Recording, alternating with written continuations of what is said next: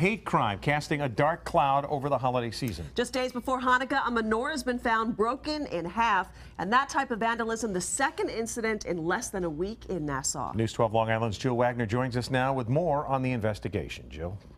Well, a 10 foot tall menorah was found broken in half in Salisbury over the weekend. Now police are investigating this as a hate crime.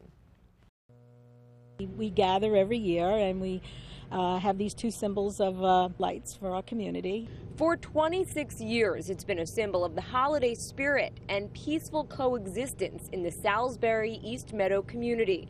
A Christmas tree and a menorah standing side by side along Carmen's Avenue.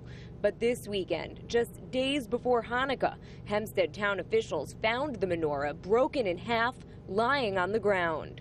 And my heart sank. And I just, uh, uh, I was very upset. Community leader Helen Martinez organizes the tree and menorah lighting. She says it has special significance. A Jewish man decorates the tree every year, and a Christian man built the 10 foot tall menorah.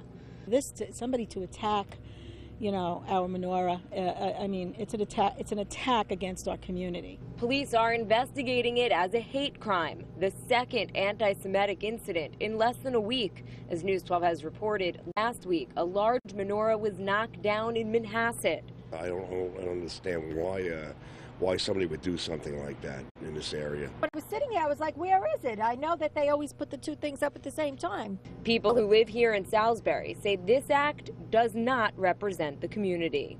It, it, it's an isolated thing, somebody acting stupid. It's just very disappointing. And the town of Hempstead will be either repairing or replacing the menorah. Police are asking anyone with information to call Crime Stoppers. That number is 1 800 244 TIPS. Ted.